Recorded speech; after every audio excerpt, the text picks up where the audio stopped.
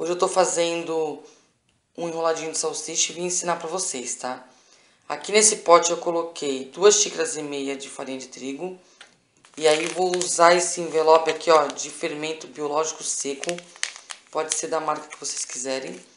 Aí eu vou acrescentar uma colher de sopa de açúcar, meia colher de sobremesa de sal e duas colheres de margarina. Aí vou mexer e depois eu vou colocar uma xícara de água morna.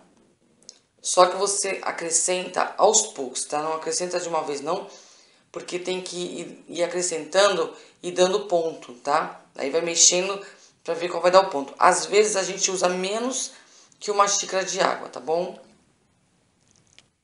Eu mexi bem, agora eu vou acrescentar água. Ó, já solvei a massa, tá?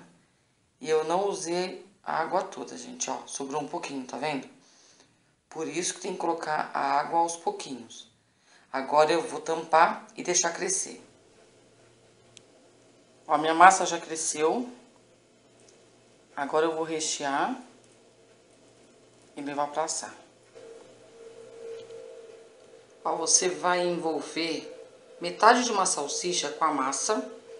Aí vai pincelar gema por cima e leva para assar até dourar. Já estão assados. Tá vendo? Ficaram bem douradinhos. Agora estão prontos para comer. Espero que vocês tenham gostado dessa receitinha e até o próximo vídeo.